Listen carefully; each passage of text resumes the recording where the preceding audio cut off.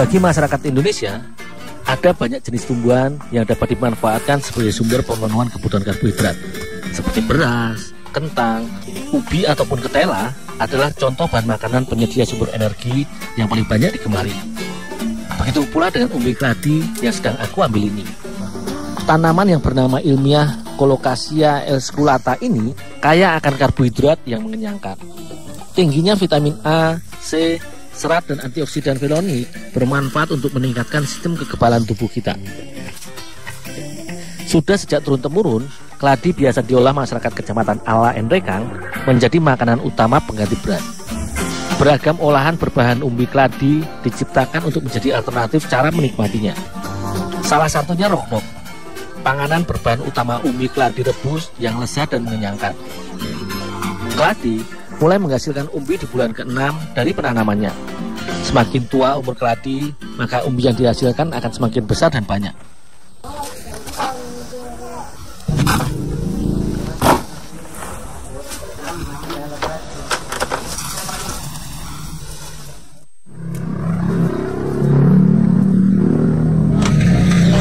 Assalamualaikum, Mas Lur.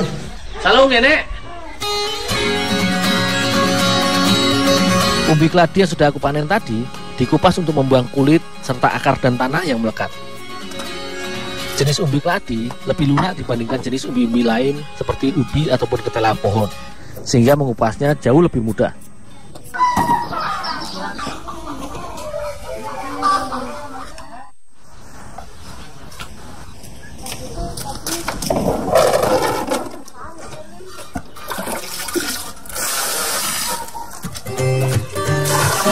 Umbi yang sudah dikupas langsung kucuci bersih untuk menghilangkan sisa kotoran yang tersisa dari pengupasan.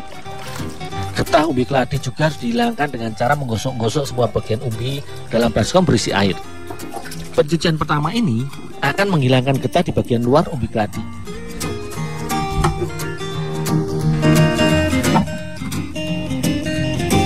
Setelah dicuci, selanjutnya umbi dipotong-potong menjadi bagian yang lebih kecil.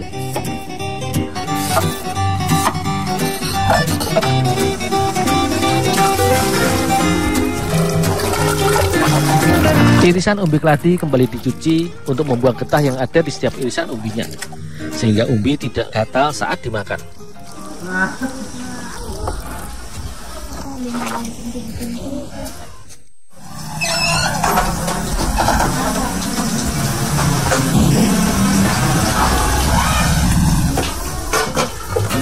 Untuk memasak keladi, maka perebusan merupakan cara yang paling pas. Selain mematangkan umbinya, perebusan juga akan menghilangkan sisa getah.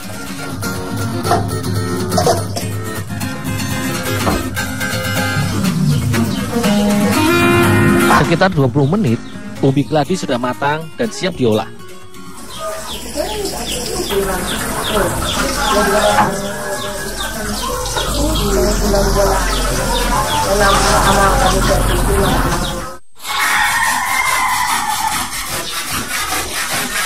Bahan tambahan berupa sari jahe yang didapat dari perasan jahe parut. Air jahe ini akan memberikan aroma dan menambah rasa hangat pada rokdok. Sedikit garam ditambahkan untuk memberikan rasa asin dari kue khas Sulawesi Selatan ini. Daun kucai atau bawang kucai ikut menjadi bahan campuran adonan rokdok. Daun beraroma khas dan tajam ini dapat menjadi penambah rasa pedas pengganti bawang. Selain air jahe dan daun kucai, parutan kelapa juga akan ditambahkan sebagai pelengkap pada campuran rodoknya.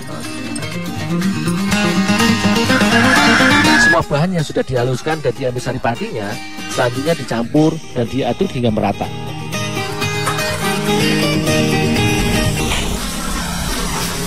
Bu, ini bu keladinya sudah matang bu. Makasih Dul. Sama-sama.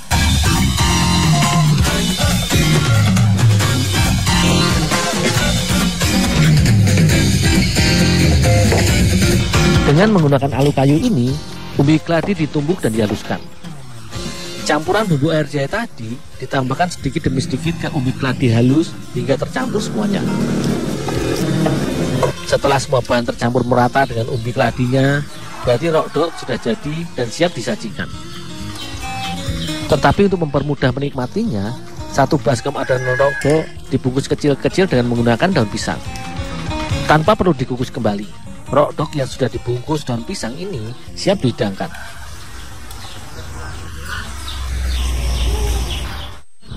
Makanya orang-orang dahulu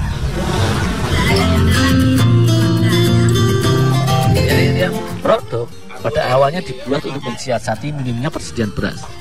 Kandungan karbohidratnya yang tinggi tetapi rendah gula sangat mengenyangkan. Rodok menjadi salah satu makanan alternatif non beras yang bisa dikonsumsi oleh semua kalangan, baik anak-anak maupun orang dewasa.